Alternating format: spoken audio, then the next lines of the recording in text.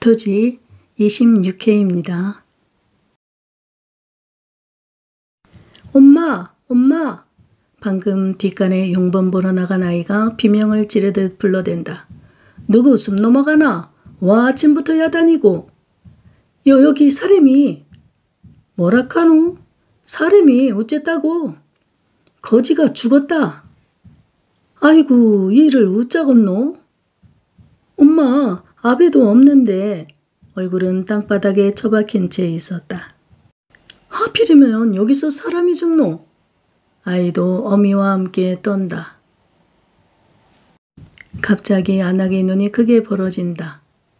가지런히 하늘을 올려다보고 있던 발바닥이 희미하게 움직이는 것 같았다. 엄마, 사, 살았는갑다. 보소, 정신 차리소. 여기가 어디라고, 일하고 이시면 어찌할기요. 어서 일어나소. 헉 하고 숨이 트이는 듯 신음소리도 먹고 송장이라 믿었던 몸뚱어리가 모로 돌려지고 꾸물꾸물 일어나 앉는다. 여기가 어디요? 청석이요. 역시 발이 옳게. 야, 뭐라했소? 아침 욕이나 시키주시오. 뭐라고? 소태도 안 들어간 아침이 어디 있어? 네 참, 얄궂은 꼴을 다 먹었네. 멀쩡한 사대 육신 가지고.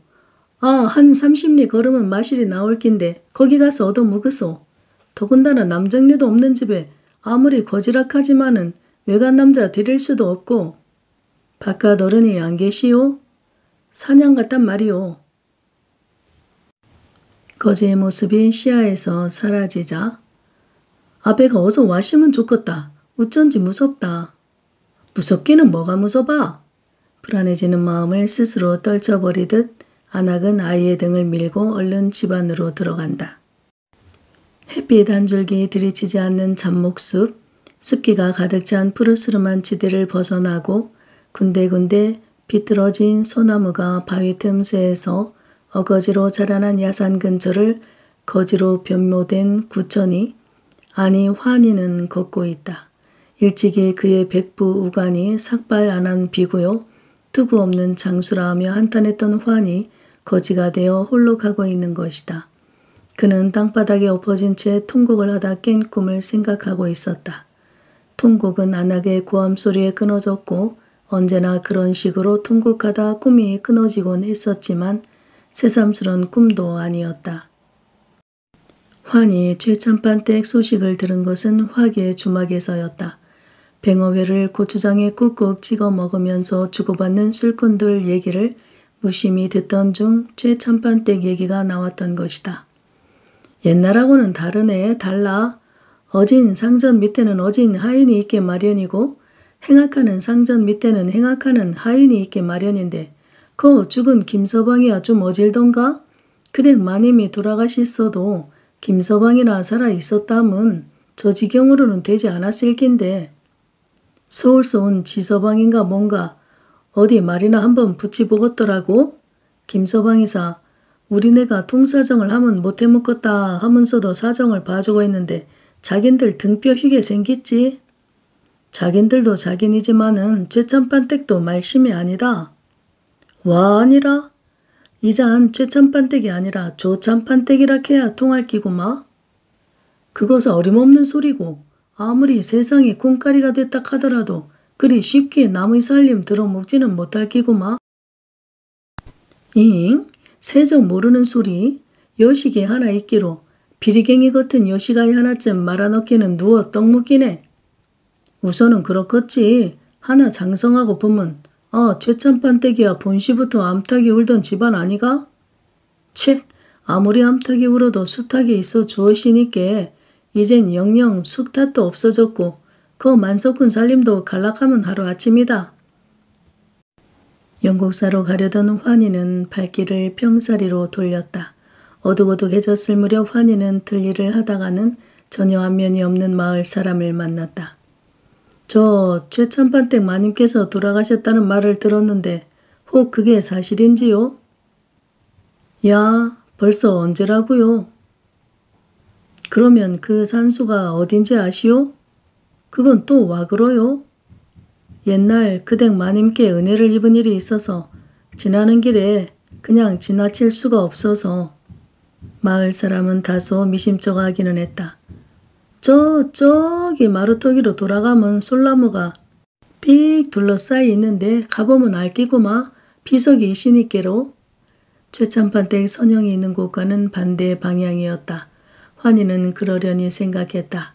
몇 번인가 돌아보곤 하며 마을 사람이 가고 난 뒤 환희는 산기슭에 앉아 어두워지기를 기다리다가 묘소로 찾아갔다. 생시 단 한 번 어머님이라 불러본 일이 없는 여인의 무덤 앞에 엎드린 환희 눈에서는 눈물 한 방울 떨어지지 않았다. 무념무상 그리움도 원망도 없이 끝없는 갈대 숲을 헤치고 가는 여인의 모습이 떠오르다가 사라질 뿐이다. 여인은 윤씨 부인 같기도 했고 별당아 씨 같기도 했다.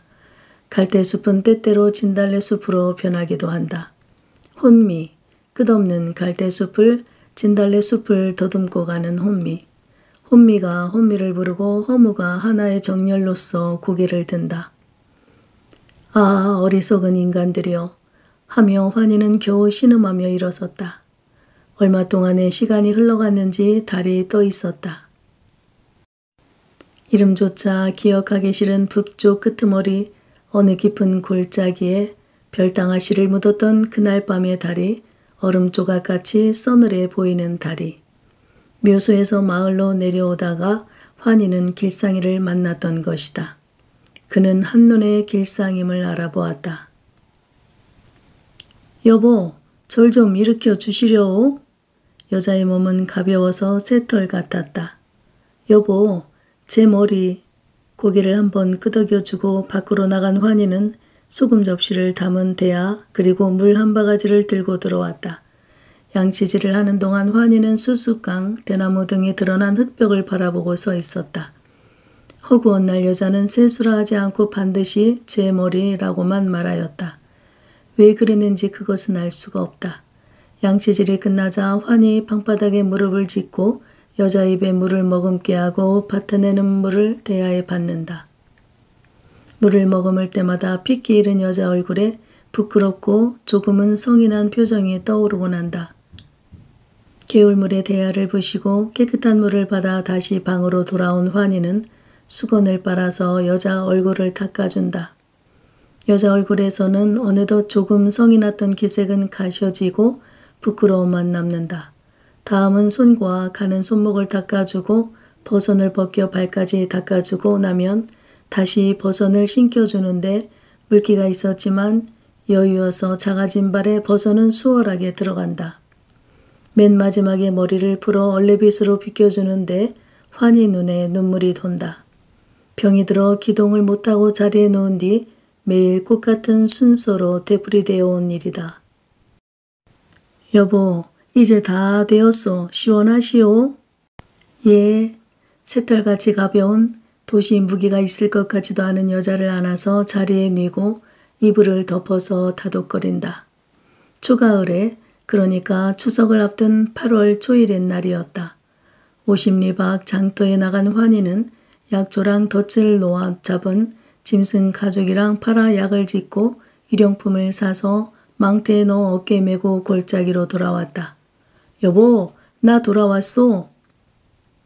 여보, 나 돌아왔소. 망태를 팽개치고 방문을 열었다. 여보, 당신 약 지어왔소. 여자는 잠든 것처럼 죽어 있었다. 혼자서 죽은 것이다. 여보, 저 산새 오는 소리 안 들리세요? 얼마나 즐거우면 저리 명랑하게 지저귀일까? 새들도 밤이 싫은 거예요. 아침이 좋아서 햇빛이 환한 게 좋아서 저리 지적이나 봐요. 캄캄한 밤이 싫은 거예요. 나도 저 새들같이 한번 날아보았으면 산속을 한 번만 거닐어 보았으면 관솔불이 미친 듯이 춤을 춘다. 그림자처럼 여자는 누워있고 환희는 앉아있다. 앉아서 언제였던가 여자가 한 말을 듣고 있는 것이다.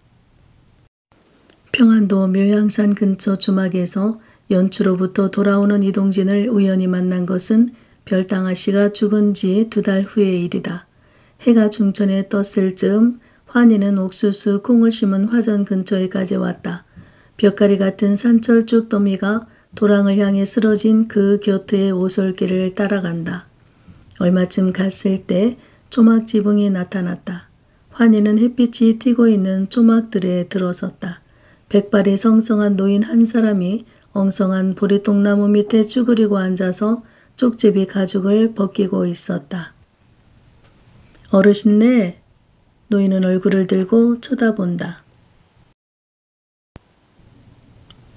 60이나 되었을까? 노인은 거짓골인 행색에는 무관하는지 굵은 눈망울을 굴리며 환희의 눈을 날카롭게 쳐다본다. 그런 다음 무쇠를 녹여 빚은 듯 굳은 환희 얼굴을 이리저리 관상이라도 보는 것처럼 살펴본다. 여기 좀 시켜주십시오. 기다리게 짤막하게 말한 노인은 얼굴을 떨어뜨리고 하던 일을 계속한다. 환희는 햇빛이 튀는 땅바닥에 엉덩이를 붙이고 세운 두 무릎을 안으며 긴 손가락을 깍지 낀다. 햇볕이 얼굴을 쳐들며 먼 산을 바라본다. 산새 울음이 간혹 들려올 뿐 골짜기의 한낮은 조용하다. 개울이 작아 그런지 비가 오지를 않아 그런지 물 흐르는 소리도 없다. 여보게 젊은이 예 자네 몇 살인가? 서른쯤 됐습니다. 음 태생이 어디지? 먼 곳입니다. 말투는 이 고장인데 자라기는 이곳에서 자랐겠구먼. 환희는 아무 말도 하지 않는다. 쪽제비 가죽을 다 벗긴 노인은 가죽을 널빤지 위에 늘어놓고 내장은 뒷간에 가져가 버리고 개울에 나가서 손을 씻은 뒤 어슬렁 어슬렁 돌아왔다. 환희 노인을 쳐다본다. 두 사람의 눈이 강하게 마주친다. 부엌으로 돌아간 노인은 식은 강냉이죽 두 그릇과 숟가락 두 개를 들고 나왔다. 자네 보통 거지가 아니구먼. 예? 거지 아니지? 글쎄 올시다. 남들이 거지라니까 거지겠지요? 음, 이상한 일이야. 자넨 왜 묻질 않나? 뭘 말씀입니까? 노인은 혼자 사시오라든가 왜 이런 곳에 혼자 사시오라든가 누구든지 여길 찾아오는 사람이면 어김없이 묻는 말이거든. 저도 산골에서 혼자 살았던 일이 있으니까요. 다 그렇게 살 수밖에 없으니 사는 건데 물어 뭐 하겠습니까? 자네 글을 아나? 제가요? 음, 식자께나 있는 말씨구먼. 떠돌아 다니는 저지에 식잘할 것도 없지요. 그래, 어딜 가는 길인가? 정해진 곳이 있겠습니까? 죽을 다 먹은 환희는 사발을 한 곁에 놔두고 잘 먹었습니다. 한마디 하고 촐랑거리며 방정맞게 달려가는 도마뱀을 내려다본다. 저 혹시 아시는지요? 뭘? 우관 스님을. 우관? 영국사의 그 땡땡이 늙은 중 말인가? 하는데 무슨 까닭인지 노인 얼굴에는 회심의 미소 비슷한 것이 떠올랐다. 이 근처에 그 늙은 중을 모를 사람이 있겠나? 교분이 없지만 말로는 많이 들었지. 지금도 정정하신지 모르겠습니다. 정정한지 어떤지 그거는 모르겠네만 죽었다는 얘기는 못 들었구먼. 그래 그 땡땡이 늙은 중을 찾아가는 겐가? 글쎄 올시다. 동학군의 장수 김계주가 우간의 친동생이었지? 느닷없이 마치 칼날 모양으로 말이 날아왔다. 순간 환희 눈이 불길에 닿은 듯 격렬하게 출렁인다. 자네 김계주를 알지? 피에 굶주린 이리 같은 위인이라 하기도 하고 살인기라 하기도 하고 양반님네들은 이름만 들어도 이를 갈던 그 위인 말일세. 이 근동에서 그분 이름쯤 모를 사람이 있겠습니까? 암, 그럴 테지.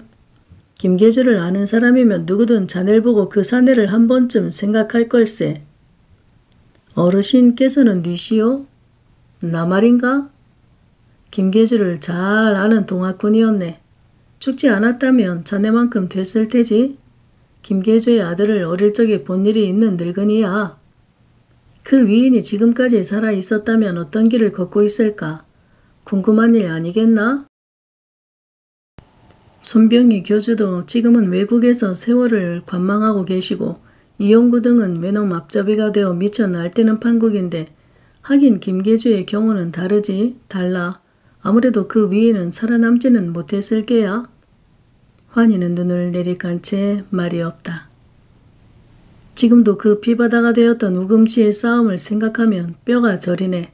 어찌 시은이라 할꼬 저주를 받아야 마땅할 우금치의 싸움이란 충멸 외양의 기치 아래 재기포한 동각군의 최후 결전으로서 시산혈애를 이룬 처참한 배전을 말한다. 양반이라면 치를 떨던 위인이 그러나 그 자신은 상민의 배신으로 죽었으니 녹두 장군도 그러했고 환희는 내리간 눈을 쳐들었다. 눈에서 불덩이가 떨어질 것 같다. 어르신께서는 어찌 홀로 이곳에 사십니까? 음, 이제 묻는구먼. 세상이 부끄러워 홀로 이곳에 사네. 핍박받는 상놈, 농민들을 이끌고 나간 내가 내 저 자식은 그 상놈들 손에 잡혀 죽었으니 어찌 세상이 안 부끄러울 수 있겠나. 내가 이 산중에 들어온 후 자네를 만나 처음으로 내 본색을 더 놓았네. 자네를 보니 불현듯 옛일이 생각나고 잠잠했던 마음에 불이 붙는 듯 싶으이. 그래 오늘 밤은 여기서 묵고 가는 게지? 아닙니다. 그럼 떠나야겠습니다. 그래서 쓰나 하룻밤 묵고 가게 내 자네한테 들려줄 얘기도 있고 자네 부친 아닙니다. 어르신께서는 잘못 생각하고 계십니다. 저는 다만 김아무개라는 그 어른의 이름만 알고 있을 뿐입니다. 진정인가? 예, 모릅니다. 아무렴 어떻겠나. 자네 얼굴을 보니 지난날 그 위인 생각, 뭐 그것만으로도 감회가 새롭네. 환희는 일어섰다. 그럼 어르신네. 아, 아 잠시 기다리게. 노인은 급히 팔을 저었다. 그들이고 뒤로 돌아간 노인은 집세기 한 켤레를 들고 나왔다. 자네 신발이 말이 아니네. 자, 이걸 신어보게. 맞을 걸세. 환희는 우두커니 노인을 바라보다가 집세기를 받아 신었던 밑빠진 것을 벗고 새 것으로 갈아 신는다. 고맙습니다. 지나는 길이 있으면 또 들르게. 예. 환희 눈에 눈물이 글썽 돈다. 한순간이었다. 어르신, 안녕히 계십시오. 지나가는 길이 있으면 또 들르게 하고 소리쳤다. 환희는 오면서 내내 생각했었지만 그 노인이 누구인지 기억해낼 수 없었다. 그러나 부친에 관한 일을 그에게 새로운 사실은 아니었으나 듣게 된 것은 역시 충격이었다. 여러 해 동안 환희는 부친을 생각해 본 적이 거의 없었다. 지난밤 윤씨 부인 묘소에 엎드렸을 때도 환희는 부친 생각을 까마득히 잊고 있었다. 왜 그랬는지 부친과 함께 겪지 않으면 안 되었던 비참한 날들이 자애로운 애정과 영웅으로 숭배했던 부자간의 그날들이 언제 어떻게 내리어서 사라져 버렸는지 최참판댁의 모습으로 들어갔을 때만 해도 환희 심정은 부친을 위한 보복에 넘쳐 있었다. 전주 가명에서 효수된 부친의 죄우가 뭐 반드시 윤 씨 부인 탓도 아니겠고 오히려 피해자는 윤 씨 부인이겠는데 외골수로 흐르는 환희 마음은 그것을 헤아리지 못했다. 윤 씨 부인의 마음을 갈기갈기 찢어 놓으리라는 억하심정, 물론 그 심정에는 최참판댁 마님이라는 신분에 대한 증오심이 있었고 최칠수의 어머니로서 결코 환희의 어머니가 될 수 없었던 여인에 대한 원한도 있었다. 그러나 운명의 장난치고도 부자 이대에 걸쳐 그들은 최참판댁에 씻을 수 없는 오욕을 남긴 것이다. 언제였던지 부친이 몸져 누운 일이 있었다. 환아, 예 아버님, 너 대장부라는 것을 어떻게 생각하느냐? 아버님 같은 분을 대장부라 하지 않겠습니까? 그렇다면 대장부라는 것은 허욕이니라. 예? 나도 내 자신을 만백성 구하려고 창가를 들고 나선 사내 그런 사내 중에 한 사람이거니 자부하고 싶다. 때론 그렇게 믿기도 하고 얼마나 많은 백성들이 아버님을 우러러보고 있는지 그것을 모르시어서 하시는 말씀입니까? 환희는 짐심해서 그렇게 믿고 있었다. 아직 어린 내가 그리 생각하는 것도 무리는 아니겠지. 그러나 내가 내 자신을 다스리지 못하고 남을 위하겠다는 것이 허욕이 아니고 뭐겠느냐. 하룻밤도 편안한 잠을 이루지 못하는 이 내가 말이다. 공자께서는 40에 부록이라 하시었습니다. 그 어른께서는 길을 구하여 생애를 거신 분이니까. 이 아비는 일개의 필부이니라 내 동학의 접주로서 하늘님의 말씀을 어긴 지 이미 오래이거늘 나는 구도자가 아니다. 끝없는 싸움, 싸움의 회오리 바람 속에 나를 잊고 싶은 게다. 그리고 죽음이 남아있을 뿐이지. 아버님, 만일 우리 동학이 마지막 승리를 거두고 이 땅 위에 화병에 찾아온다면 그날부터 나는 죽은 목숨이 될 게다. 어찌 그런 생각을 하십니까? 나도 모르겠다. 왜 그런 생각을 하는지. 백성을 위하는 것도 하나의 도가 아니겠느냐? 나는 그 도 밖에서 이는 일시적 삭풍일 게다.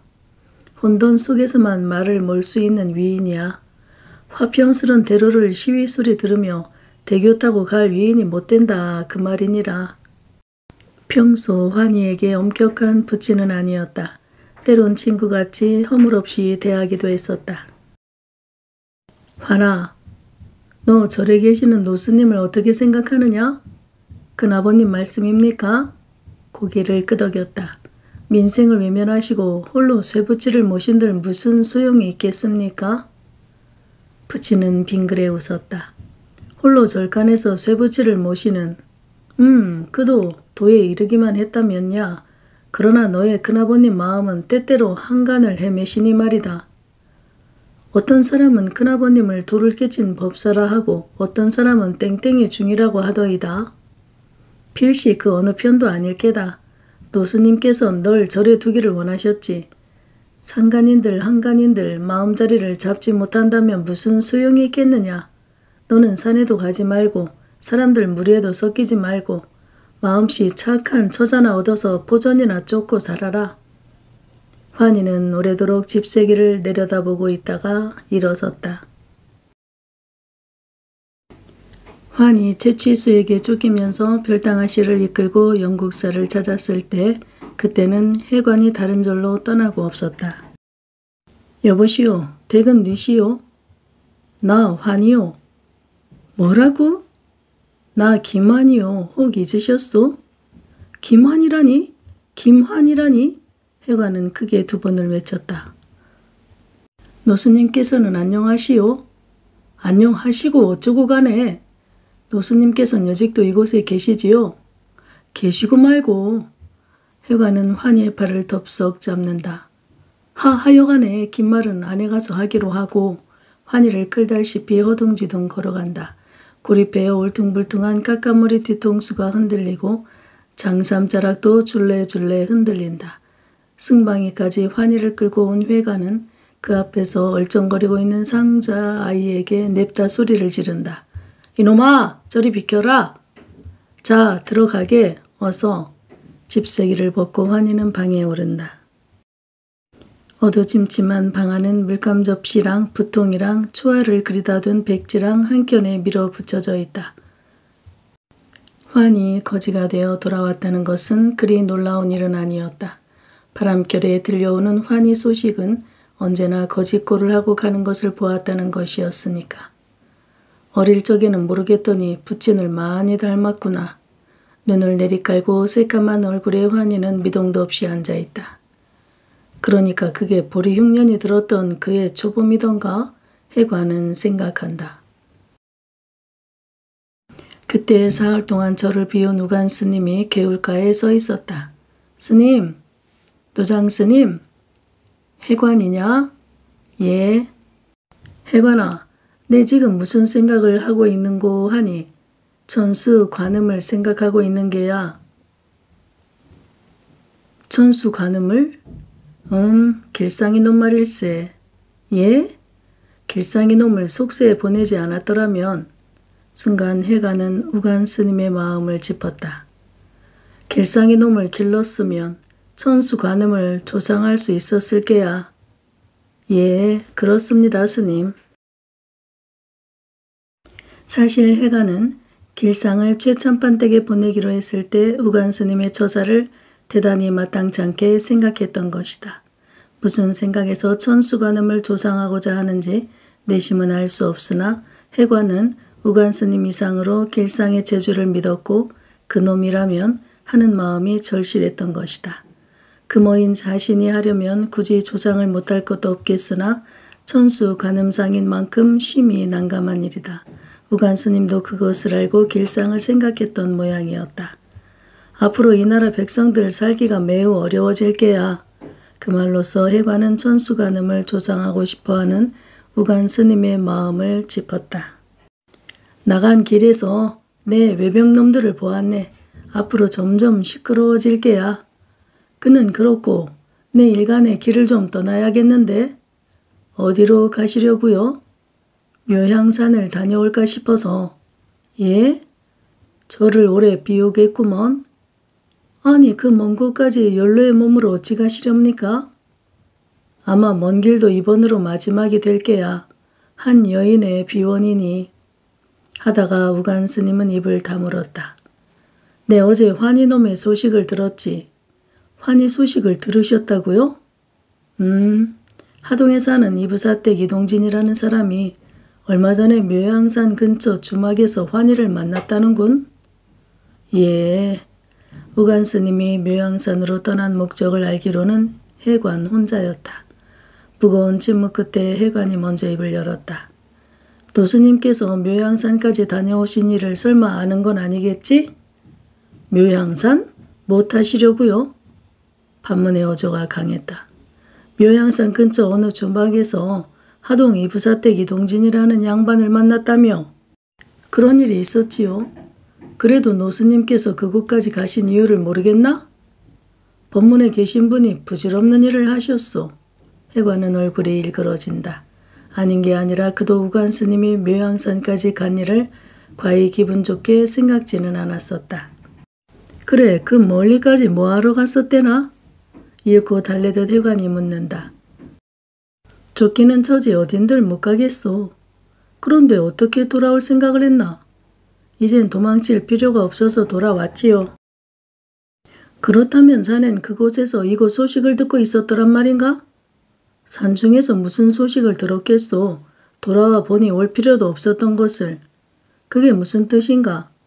그 여인은 죽었소. 뭐라고? 그 여인이 죽었단 말이지? 예. 해관은 크게 충격을 받는다.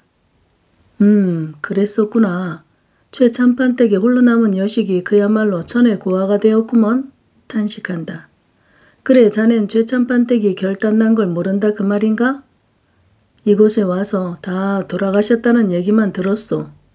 그댁 마님은 괴정 때 돌아가셨고 사랑 양반은 그보다 앞서 괴상한 죽음을 당하셨지. 괴상한 죽음?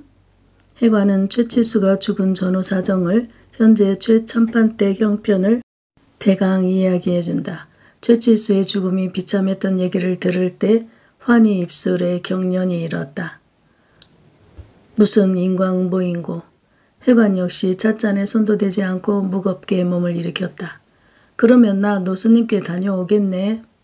방문 밖에는 어느덧 달이 떠서 훤했다. 해관은 좀처럼 돌아오지 않는다.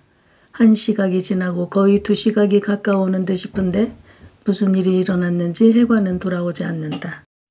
실은 내 속에 있는 원한도 진정 그게 원한인가 믿을 수 없구나. 불민한 너를 위한 아픔도 진정 그게 아픔인가 믿을 수 없구나. 등잔불을 바라보는 환히 귓가에 부친의 목소리가 울려오는 듯하다. 내 아버님, 소자 지금에 이르러 아버님 말씀하신 뜻이 깨달아집니다. 아픔이나 원한이나 인간사에서 그 모든 생각보다 더 깊고 큰 것이 있었습니다. 그게 허무가 아니옵니까? 아버님은 그 허무와 싸우셨습니다. 저에게는 지금 아픔도 없고 울음도 없고 아무것도 없습니다. 고통도 없습니다. 그렇지만 아버님 불쌍한 서희에게 환희 눈앞에 벼랑간 능소와 꽃이 떠오른다. 능소화가 피어있는 최참판댁 담장이 떠오른다. 창백한 얼굴이다. 움푹 베인 눈, 붉은 입술이다. 팔이 길고 키가 크고 뼈가 앙상하고 흡사 범아제비 같은 모습이다. 너 절에서 자랐느냐? 나직한 목소리다. 어릴 적에 절에서 자랐지? 환희는 그렇지 않다고 대답했다. 아비가 있느냐? 환희는 고개를 흔들었다. 치치수를 쏘아보았다. 가슴에 불이 활활 붙어올랐다. 어디서 많이 본 얼굴 같군? 누굴 닮았을꼬? 치수는 육박해 오듯 말했다. 당신 어머님을 닮았단 말씀이요? 아니면 동학군의 살인귀라던 접주? 그렇소. 이 마을을 지나갔었지요. 이빨 사이에서 터져 나오려는 절규를 악문다. 그렇소. 나는 당신 어머니의 불우의 자식이요. 당신은 아비 다른 내 형님이요. 그리고 또 있지요. 형수를 사모하는 불륜의 사내요. 끓던 피가 식었다. 치수는 골똘히 환희를 쳐다보다가 돌아섰다. 10년 전의 광경이 마치 어제 있었던 일처럼 환히 기억 속에 생생히 살아난다. 추수를 끝냈을 무렵 마을에서는 집 나갔던 사람 하나가 돌아왔고 한 사람은 마을에서 영영 추방을 당한 일이 생겼다. 김원장이 돌아왔다 카네. 그래? 뼈만 붙어서 못 보게 됐더란다. 고생을 엄치 했는갑더마. 시무룩하게 말을 주고받는 마을 사람들 기분은 배신이라도 당한 것 같았다. 게다가 김은장은 돌아온 후 일치에 바깥 출입을 하지 않게 되니 마을 사람들은 곡절도 모르면서 차츰 노골적으로 김은장에 대하여 비난을 하기 시작했다. 그 양반도 보통으로 질정 없는 사람이 아니고마 나갈 때는 뭐 할라고 나가가지고 돌아가기는 와 돌아왔을꼬? 의병장이니 뭐니 했었더만은 그거 다 생판 거짓말이다. 식자가 있으니께 말만 번드르르 했지 담배 떼들고 마을길이나 얼쩡거리고 댕기던 사람이 무엇을 할 끼라고.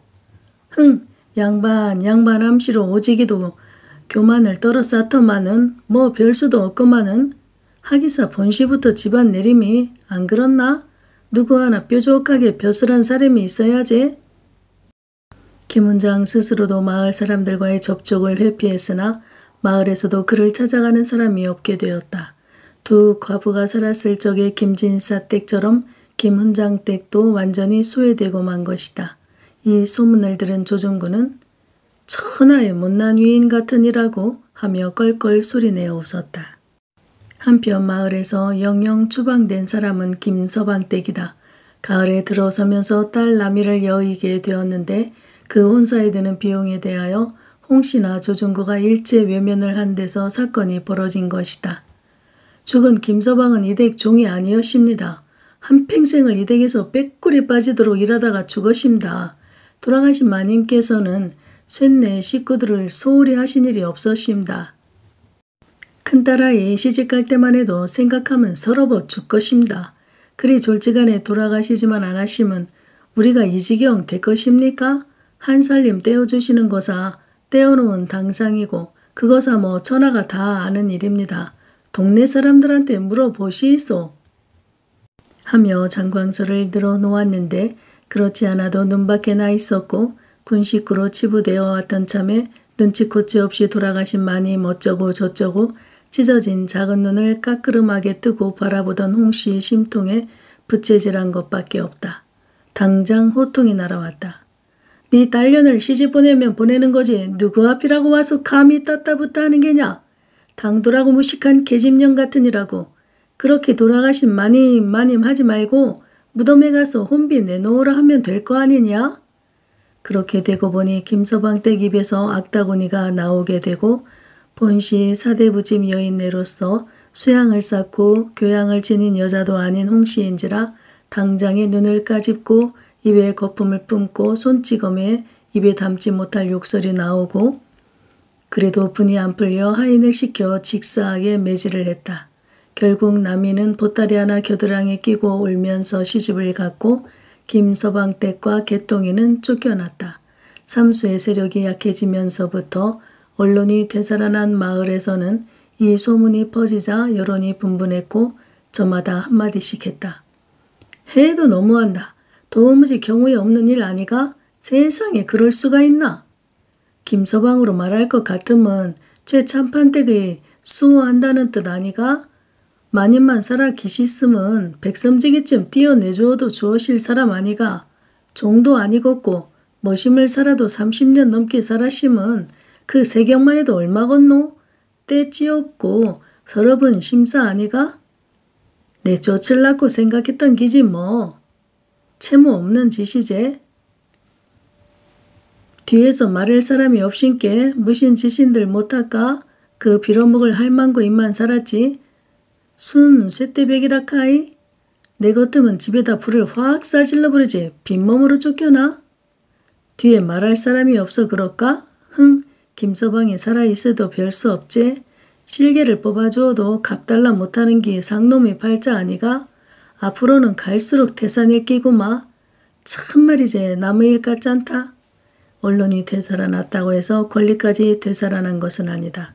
무사람들 입에 들면 무쇠도 녹인다 있었지만 그 입들은 헛바람을 키웠을 뿐 가을이 가고 겨울이 오고 쫓겨난 김서방 댁은 읍내 바람 부는 장터에서 혹은 집집을 돌아다니면서 떡장사를 하며 겨우 연명해 간다는 소문이었다. 문을 열고 살며시 방 안으로 들어갔으나 서희는 돌아보지 않았다. 애기씨, 저 읍내 월선아짐의 집에 다니와도 되것입니까? 말해놓고 봉순이는 서희의 허락을 기다린다. 너 마음대로 하려무나? 순간 봉순이 눈빛이 날카로워진다. 그럼은 다녀오 것입니다. 하고 물러나 방문을 닫는다. 손바닥에 쩍 들러붙는 쇠문고리를 놓고 봉순이는 별당 뜨락을 넉빠진 눈으로 바라본다. 강물이 얼지는 않았으나 나룻배가 있을지 봉순이는 생각하다가 육로로 향해 걷는다. 바람이 들판을 휩쓸고 온다. 바람에 흙먼지가 입으로 날아들어온다. 퇴퇴 뱉어내면서 너무 추워 입을 다물고 걸을 수가 없다. 날씨가 추운데 다음에 가려무나 그렇게 한 말씀을 해 주었어도 내가 이 추운 날에 나서지는 않으실 낀데 세상에 무슨 일로 가느냐 말 한마디 물어보지도 않고 우찌 그리 메르꾸질고 바람에 흑흑 느끼는 봉순이 마음도 따라 울먹여진다. 굳이 가야 할 일이 있어 나선 것은 아니었다. 아침을 먹은 뒤 봉순이 제 방에 앉아 버선을 깁고 있었는데 서희방 아궁이 앞에서 장작을 내려뜨리는 소리가 울려왔다. 길상이 군부를 때로 왔구나. 추운 겨울에는 아침 저녁으로 군부를 지펴야 한다. 서희방의 군부는 늘 길상이가 지폈다. 봉순이는 일손을 멈추고 바깥 기척에 귀를 기울인다. 소식이 까민 솔가지 분지르는 소리가 똑똑 들려온다. 봉순이는 손바닥을 무릎 밑에 넣어본다. 방이 차다. 길상이 봉순이 방에까지 군부를 넣어줄 리가 없다. 얼음장같이 차디찬 길상의 마음에 가슴이 떨려온다. 어떤 사람은 팔자가 좋아서 어떤 사람은 팔자가 좋아서 나 같은 거사 순간적으로 하던 일을 버리고 일어섰다. 그리고 서희 방에 가서 읍내에 다녀오겠다는 말을 했던 것이다. 그만 독한 마음 한 번 묻고 달아나 버릴까? 뭘 믿고 내가 그 집에 있노 말이다. 치마가 말려 올라간다. 엄니 뜨거운 눈물이 온 두보를 타고 흘러내린다. 엄니 뒤에서 섬진강 바람이 떠민다. 엄니 뭐 하려고 날 낳았소? 이리 불쌍코로 날 혼자 두고 울며 불며 바람 부는 길을 간다. 봉순이 읍내에 들어섰을 때에는 점심때나 된 것 같았다. 웃짧고 거기 한번 가볼까? 삼가름길에 서서 망설인다. 읍내길에도 오가는 사람은 드물다. 그만 언덕백에서 뛰어내리는 심치고 한번 가볼까? 지난 가을이었다. 월선이 집에 찾아가는 길이었다. 가는 도중 개딱지만한 오막살이 집 안에서 장구 소리, 창하는 소리가 들려왔다. 그것에 관심이 많은 봉순이는 저도 모르게 한참을 서서 들었다. 그러다가 월선이 집으로 간 봉순이는 아지매요. 와 옴시로 들었는데요. 개딱지만한 오막살이 안에서 장구 소리가 나고 노랫소리가 나던데 뭐 하는 집이요? 아, 배서방 집 말이가? 배서방 집이라고요? 배서방은 소리꾼이니께 잘하는 소리꾼이요? 명창이라는 말이사 못 들었다마는 기생들도 배우러 오고 소리꾼 되겠다는 사람도 배우러 오고 한다 하니께 앵간히 하는가 보제. 그런데 와 집은 그리 개딱지 많아요. 그러면 대골 걷을까? 하고 월선이 웃었다. 이름이나 크게 털쳤다면 모를까 광대들이 무신수로 큰 집 짓고 살겄노. 제주 하나 가지고 의식을 매련하는 것만도 다행이지. 남북이사 마른 자리에 앉아서 호강하는 것 같지만은 광대락하면 예적부터 모두 가난한 애라. 그러면 기생 아가씨들도 그렇구마요? 그거사 좀 다르겠지? 광대하고 기생하고는 다를 기구마? 하기사 기생도 가무에 능하고 인물이 좋아야. 그리고는 잊어버린 일이었다. 봉순이는 개딱지만한 쪼가집 앞에까지 왔다. 여보시오. 아무도 없실까? 없다고 생각하니 용기가 난다. 여보시오? 누구요? 뒷마루 쪽에 방문이 열리면서 핏기 없는 중년 사내가 얼굴을 내민다. 뒤를 찾는고? 저 배서방이라 카는 할 말이 있으면 이리 와서 하지. 무슨 일로 하실고? 중년 사내는 여전히 얼굴만 내민 채 퍼렇게 온 봉순이 얼굴을 올려다보고 다시 몸매를 살펴본다. 그거 참하게 생겼구나. 옷맵시도 그만이고 가랑한 목소리하며 네집 귀한 딸 같은데. 저 소리하는 음 내가 그 배서다 방이다. 사내 목소리는 아까보다 훨씬 활기가 있다. 소리 공부하려고 하면 누가 네가 추운데 문 열어놓고 말할 수도 없고 여기 들어오지? 야? 자 들어오너라. 들어와서 차근차근 얘기하면 내 알아서. 아 아니요. 다음에 또또 오겠소? 봉순이 몸을 돌리고 뛰어간다. 봐라 봐라 급히 부르는 소리가 뒤에서 쫓아온다. 차마 그럴 수는 없다. 형편을 뻔히 알면서 어찌 애기씨를 버리고 누굴 의지하고 살랐고 내 혼자 나온단 말고 차마 그럴 수는 없다.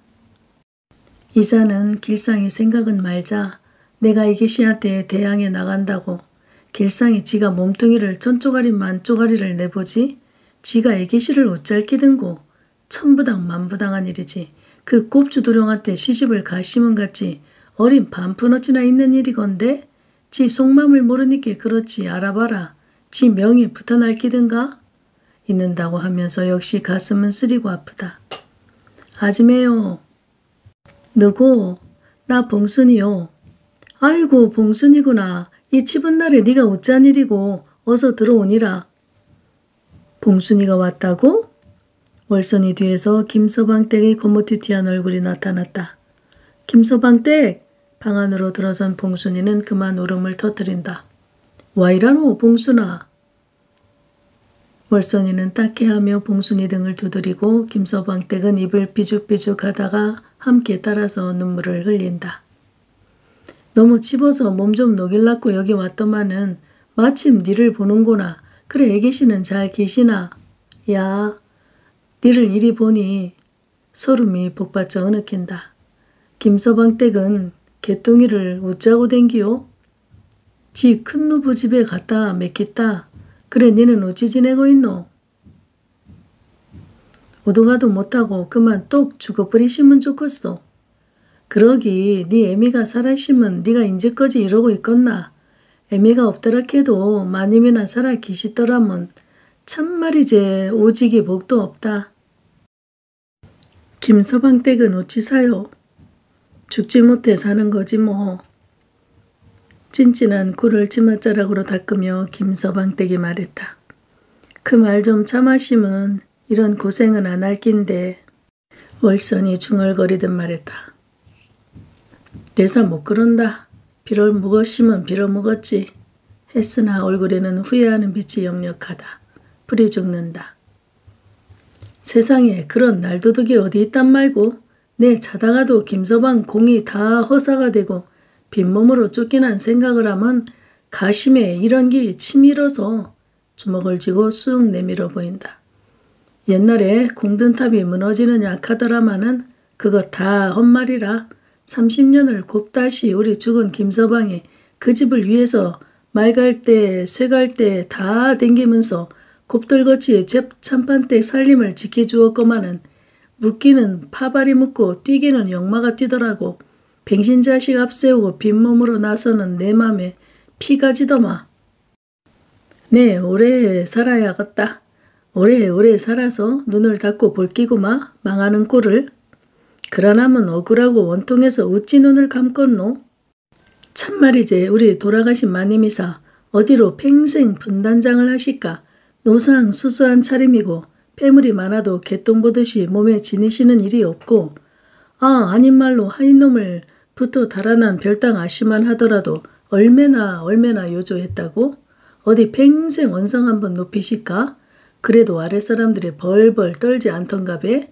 이거 어디 순 사당패도 아니겠고 여시가 둔갑해 온 것도 아니겠고 불안당도 아니겠고 어느 한 구석을 뜯어봐도 우리네 불쌍놈의 자손보다 나은 게 뭐 있노? 기떡이 맥혀서 내 말 좀 들어보라고 세상에 비단을 감고 폐물은 주렁주렁 달고 댕김시로 그 발목아지 한 번 보면 넉장거리를 할기구마. 언제 나갔던지 월선이 접시하고 탄기 하나를 들고 들어왔다. 김서방 댁 떡 좀 삽시다. 엿이 있어서 좀 녹여왔는데 월선이 말의 이야기는 중단되었다. 떡을 사다니 원 세상에 그런 말이 어디 있노? 생업인데 사야지 그냥 묶었어. 반갑은 봉순이가 왔는데 떡을 해서라도 미기 보낼 낀데 야박스러운 소리를 다 하는구나. 여전하게 내일 끼니가 없을지라도 인심 좋은 말을 하며 김서방 댁은 접시를 들고 마루로 나간다. 마루 끝에 놓아둔 함지의 검정볼을 걷고 콩가루에 굴린 인절미를 접시에 듬뿍 담아 들고 들어온다. 월선이는 떡값을 셈에서 억지로 쥐어준다. 내사 싫다. 안 받을란다. 김서방 댁에 안 와도 봉순이가 와시니께 장에 떡 사러 가실게요. 한 말 말고 받으소. 한참 승강이를 하다가 겨우 돈은 받은 모양인데 김서방 댁 표정은 몹시나 서글퍼 보인다. 봉순아 여세 찍어서 떡 먹고 있거라. 김서방 댁도 오고 했시니 잠시 나가서 점심에 올기니.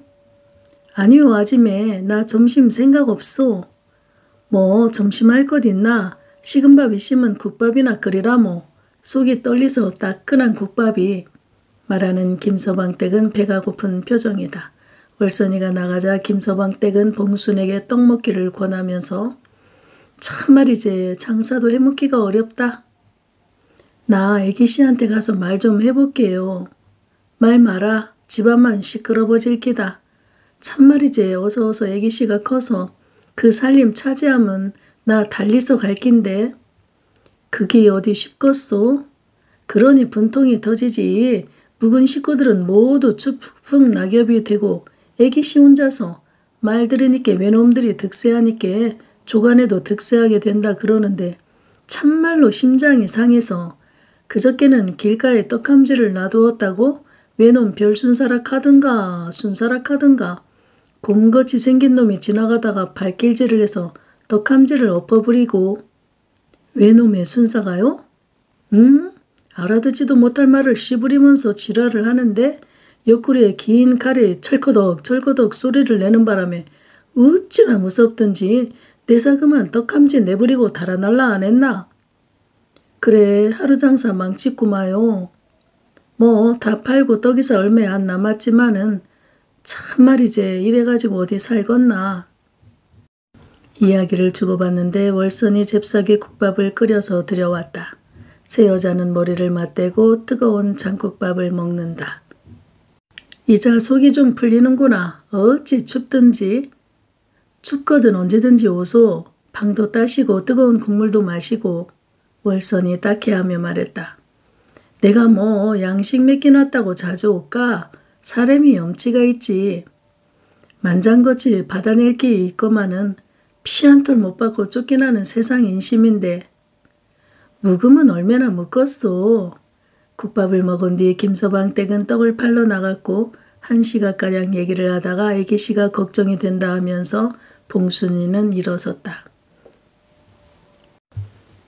기녀가 죽은 뒤 사머리와 함께 집안일을 보던 순이도 어느덧 서울서 데려온 계집종들에게 밀려나 허드렛 일꾼이 된 것은 오래전 일이다. 스물이 넘어서 겨우 육손이와 짝을 지어주어 아이를 배기는 했으나 옛날 같았으면 본인들이 원할 경우 논마잭이라도 얻어 살림을 나갔을 것이요.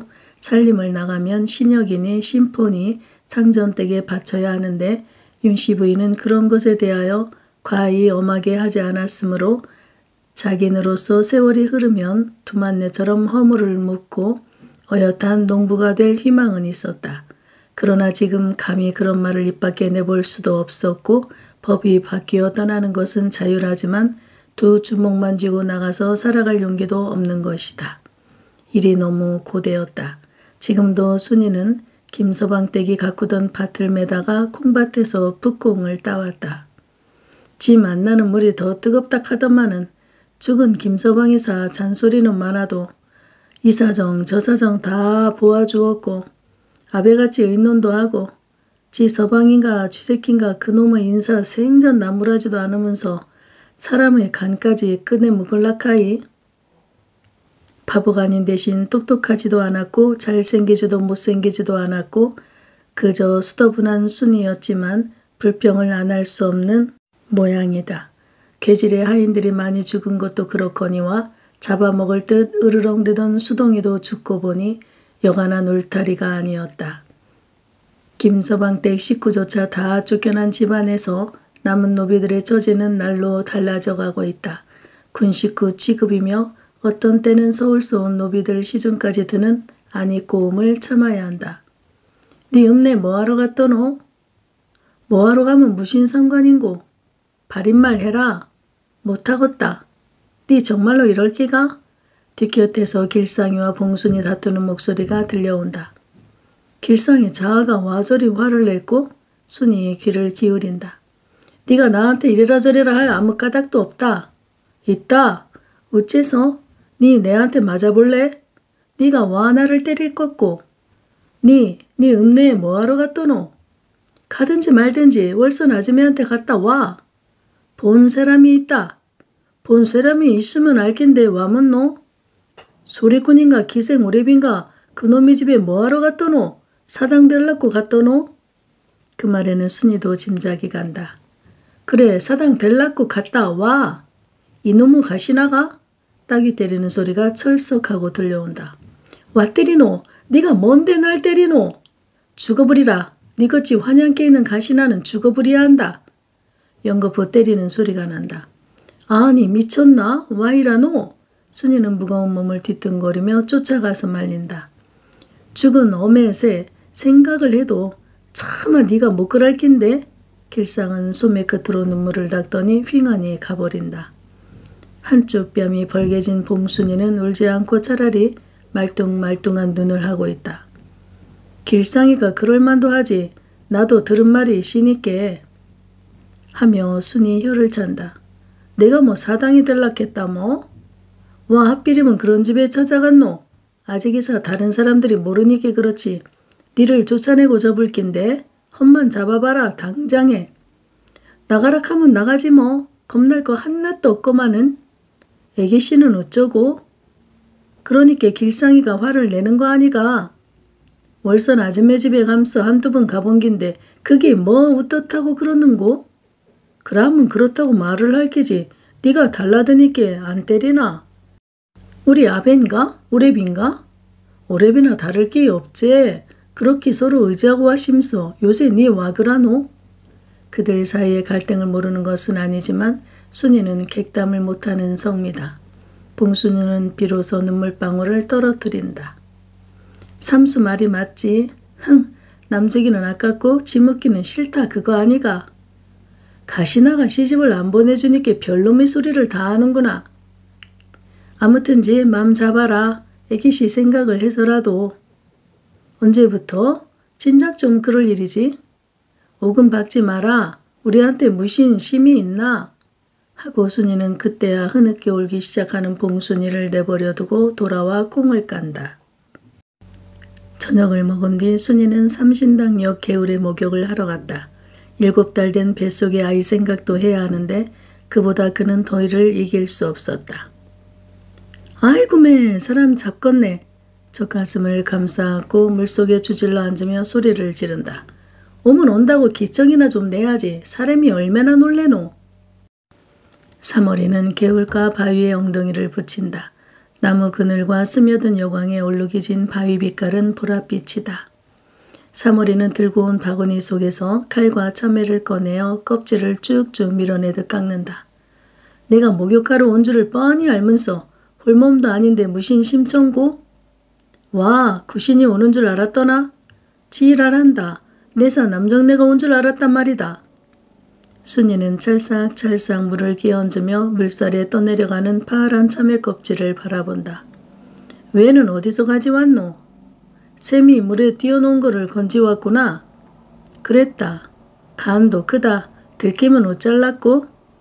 사머리는 참외를 두 쪽 내어 한쪽을 순이에게 내밀었다. 묵어라. 나가서 묵지? 묵어라. 물속에서 묵어라. 참외를 받아먹는 순이는 사머리 손에 있는 칼을 힐끔힐끔 쳐다본다. 사머리는 이 세상에 참외 먹는 일 이외는 아무것도 생각지 않는 듯 열중해 있다. 아니 부산스레 소리내어 먹는 행위 자체를 잊고 있었던 것이나 아니었는지 순아 와 내가 구신같이 보이나 누가 구신을 바시야 말이제 사람이 어째 구신 같을꼬 그의 말대로 모습은 수척하여 귀신이 저럴까 싶을 정도다. 그러나 그보다 요 며칠 사이 사물이 전과 같지 않다는 것이 마음에 걸린다. 그동안 병신처럼 말이 없고 반정신이 나갔다고들 했었는데 어쩐지 하는 말에 조리가 있는 것 같기도 했고 노상 빛을 잃고 있는 눈동자가 야무지게 보여질 순간도 있다. 맘에 씌어서 그리 보이는 거지. 아무리 반정신이 나갔다 하지만은 자식을 잃어버리고 지가 어찌 환장이 안 되겠노? 열흘 전에 아이를 잃은 것이다. 이지를 알았는데 약 한 점 먹여보지 못하고 오히려 주위에서는 죽기를 바라는 야박한 인심 속에서 아이는 싸늘하게 식어갔다. 죽는 편이 낫다고 생각하기로는 순이도 마찬가지였다. 그러한 심정이 죄책이 되어 순이 눈에 사물이 이상하게 보였는지 모른다. 목욕을 하고 머리를 감고 난 뒤 옷을 갈아입는 동안 사모리는 껍질도 벗기지 않고 통째로 참외를 깨물어 먹고 있었다. 안 갈래? 사모리는 멍하니 순이를 바라보았다. 껌껌해졌다. 가자. 아니. 와. 내가 참외를 다섯 개나 가져왔는데 빈 바구니 속을 들여다보며 중얼거린다. 반쪽만 날 주더니 나중에서 껍데기도 안 벗기고 미치광이고 혼자 묵더만은 내가 그거를 다 묵어? 배한번 만지봐라. 망둥산같이 부었을 기다. 맛이나 알고 묵었나? 아까 저녁 먹을 때도 밥 한 그릇을 개눈 감추듯 묵더니 간장 한 번 안 찍어 먹고 어찌 맨밥을 그리 묵노? 내가? 그래. 가자. 안 갈락하나? 나 혼자 갈까? 맘대로 하라모. 어두버 오는데 안 무섭나? 안 무섭다. 하기사 네 맴이 뭐가 그리 좋겠노. 시컷 한번 울어버리고 그만 때리치하라. 니사 섭섭하겠지만은 아니할 말로 남들은 차라리 잘 됐다 생각하지. 그래가지고 크면 뭐하겠느냐고 잊어버리라. 내가 뭐 개새끼 같은 그거를 귀엽게 했건데? 갑자기 일어서더니 사머리는 쌀이나무를 헤치며 사무 쫓아내려간다. 빌어먹을 채집? 가자가자 할 때는 꿈쩍 안 하더만은 지 혼자가 뿌리네. 사방은 어두워 왔으나 산바람은 여전히 더위를 머금고 있다. 순이 한참을 걸어 내려왔을 때 불타 없어진 누각 빈터에 사물이 서 있었다. 아직 안 갔나? 가면 뭐 할 일이 있나? 달이 떴구나. 중얼거리며 순이 마을을 내려다본다.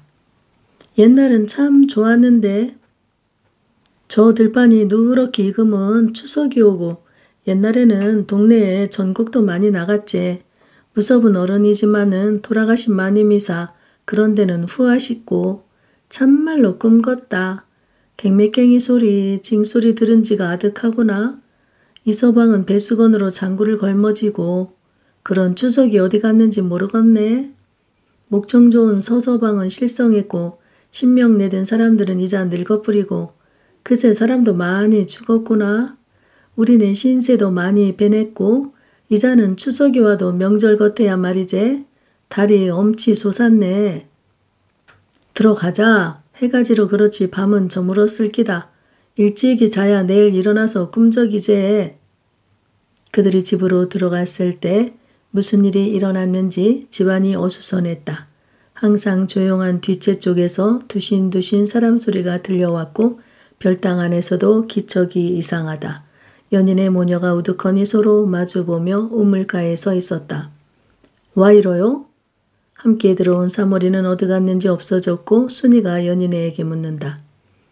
대답이 없다. 무슨 일이 있었어?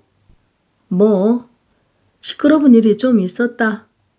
하고는 더 이상 설명을 하지 않는다. 내가 알아서 처리할 터인데 부인은 왜 쓸데없는 짓을 하는 거요? 안채대청에서 들려오는 조중구의 격한 목소리다. 쓸데없는 짓이라니? 그게 무슨 말씀이요? 올곧자는 홍씨의 대꾸다. 허허허 내가 뭐라 했소?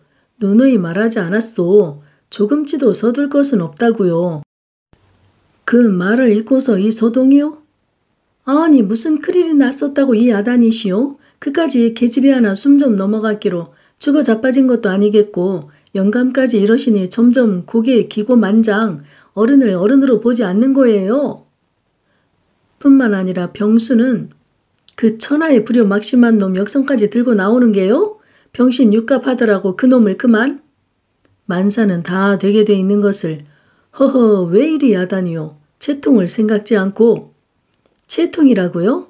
아니 자식놈이 하자 조중구의 낮은 목소리가 들렸고 다음 방 안으로 떠밀고 들어갔는지 방문 닫히는 소리가 들려온다. 연인의 모녀는 어느덧 각기 자기네들 처소로 가버리고 없었다. 잠자리에 들면서 순이는 물었다. 저녁 때 무슨 일이 있었소? 뭐 좋은 일도 아닌데 알아서 뭐 할라고? 육손이 입맛을 다신다. 들으니께 애기씨가 숨이 넘어가고 웃자고 하던갑던데. 큰일이제. 기어 대체 도련님하고 혼인말을 했시니 애기씨 기가 넘어서. 누가요? 누구기는 말할 사람이 따로 있겠나? 소동은 그것보다도 뒤째 도련님 때문에 더 커졌거든. 애기씨가 기절한 김피를 알고 도련님이 오시서 어마님을 보고 옳지 못하다고 따진기라. 야? 죽는 한이 있어도 장가 안 간다 했을 뿐만 아니라 어렵은 문자까지 들어가면서 그 도련님이요? 음, 참말로 그리 똑똑한 줄은 몰랐구마. 하기는 뱅신 몸이라 그렇지 나이는 열일곱이니께 글 공부도 해시니 알만치는 알아실기구마. 부모 안 닮는 자식이 없다 하는데 아주 여간 분명하지가 않더란 말이다. 그래서 우찌 되었소? 노발 대발 아드님을 내 동댕이 치고 그런 난리 벼락이 없었지. 나중에는 이 초식거정 분리와서 무엇을 어떻게 가르치냐 하며 마룻바닥을 주먹으로 치고 하다가 육손이는 저거 우는 소리 아니가? 하며 베개에 놓인 머리를 든다. 누가 저렇게 우노? 이 밤중에? 사물이가 우나배요. 죽은 머시만 생각이 나서 그러는갑소. 빌어먹을 옆이네 울면 뭐하노? 육손이는 혀를 차며 돌아눕는다. 흥얼거리며 우는 소리는 계속된다.